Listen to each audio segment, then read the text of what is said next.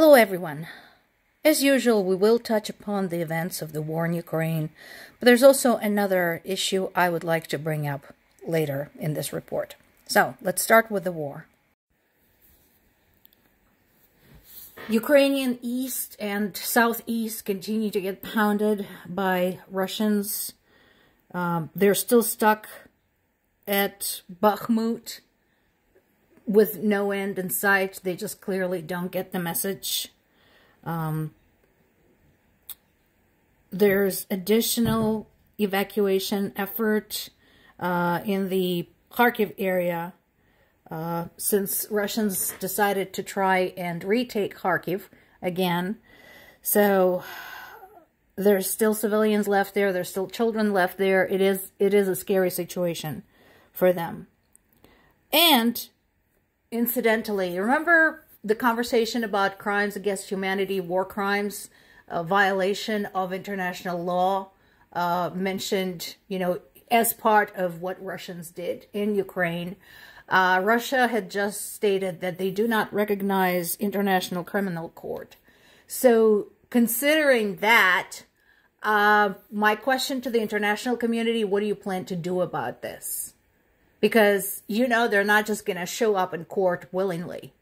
Somebody's going to go and get the culprits if you want to bring them to justice. Meanwhile, uh, Ukraine, uh, with the aid of the international training that they've received from, from other countries, continues to take out um, Russia's subdivisions, military objects, and um, soldiers. And again, I realize that that is a very flippant way to talk about the loss of life, and I don't feel bad about it. Sorry, not so. And here's another reason to hate Putin and people who support him, uh, which is uh, over 80 or 85% of Russians at this point. So he is now recruiting soldiers from women's prisons because they ran out of soldiers to recruit in men's prisons. So again, there's two things going on there. One is uh, there are probably people there uh, imprisoned for some really petty crimes, including bogus crimes like uh, being anti-Putin or spreading Russophobia and so on and so forth. And they get basically shipped off to Ukraine as cannon fodder. Another problem is that among those prisoners being unleashed into Ukraine are genuinely dangerous individuals, including serial killers, rapists, thieves, all kinds of thugs.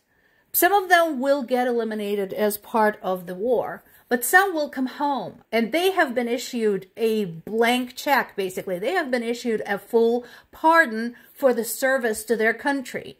So these people, these criminals, are going to come back into Russian civilian communities.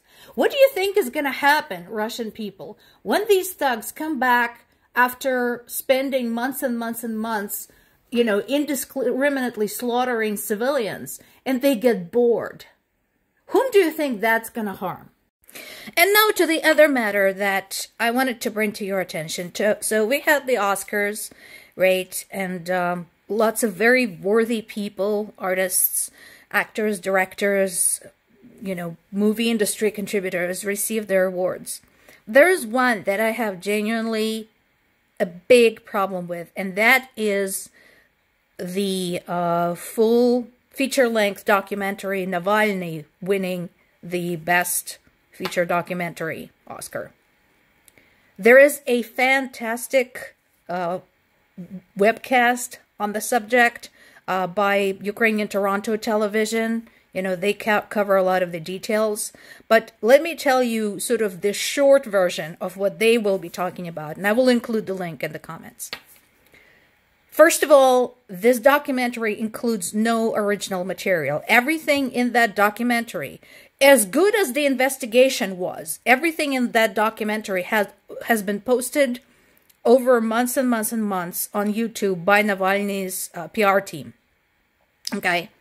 So, like, it, how does that work? I take a YouTube video, I combine it with a bunch of other YouTube videos, and I call it a movie and I win an Oscar for it? No, that's cheating. Another problem is that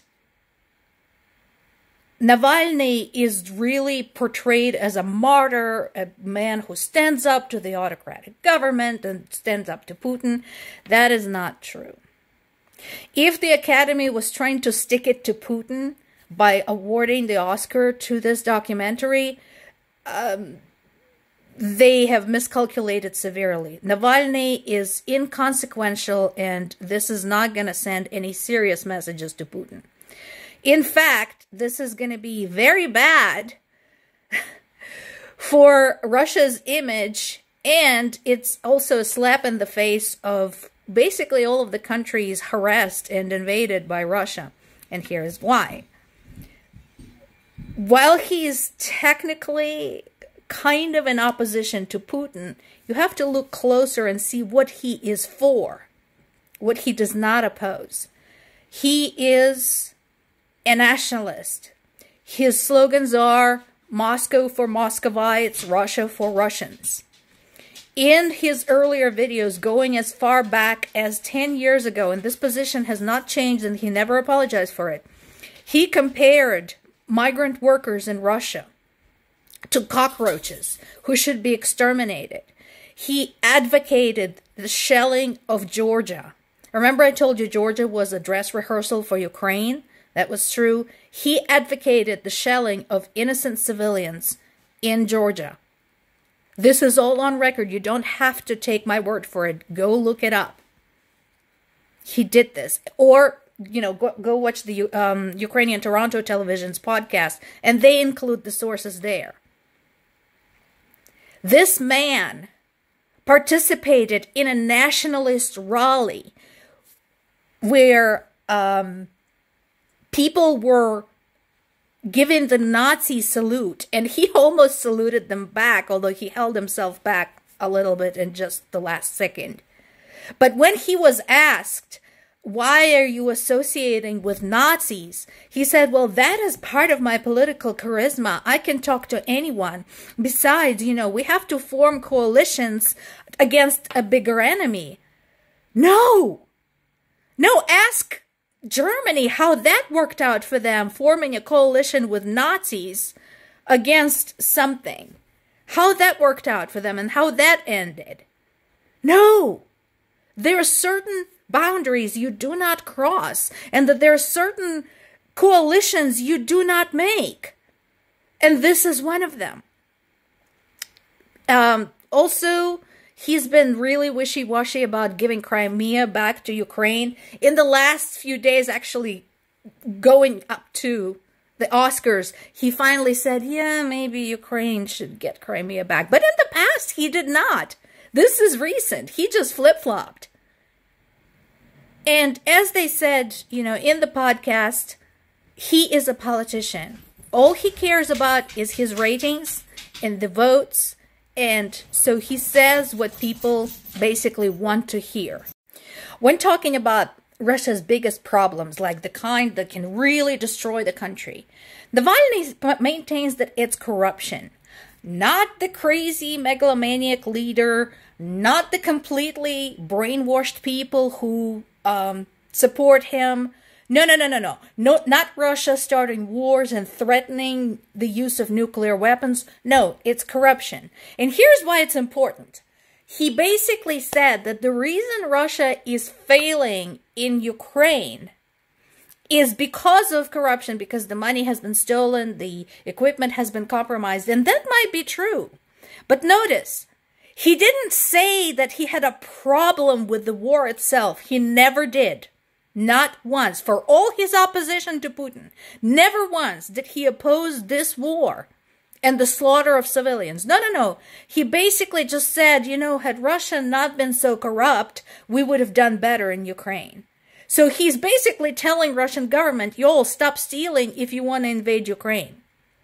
And this is the man who just got celebrated in front of humongous television audiences. Shame on you, Academy. That is truly disgusting. One of the other documentaries nominated for Oscar was Ukrainian A House Made of Splinters about the fate of Ukrainian orphans. Thank you for watching.